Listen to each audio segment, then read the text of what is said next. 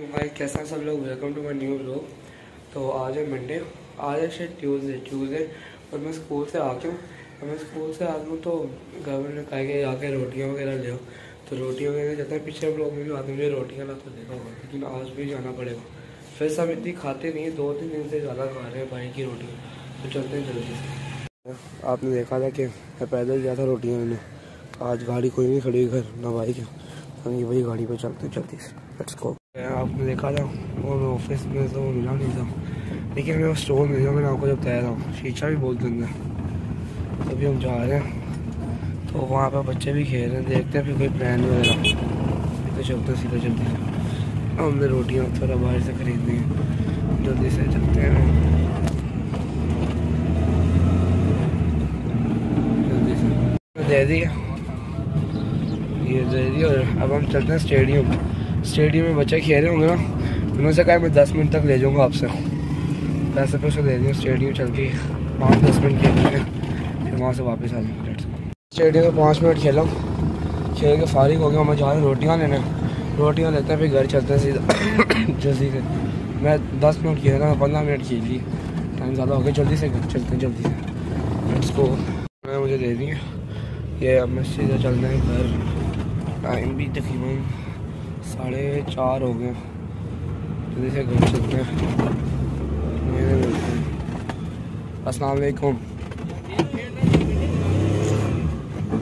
ये गया मैंने रोटी वगैरह रख दी गाड़ी भी खड़ी कर दी मगर इतने जान हो गए नमाज़ पढ़ने जा रहा हूँ। नमाज़ पढ़ चलते ये भी नीला सा हो इसको भी साफ़ करूँगा टैटू में लगवाया था।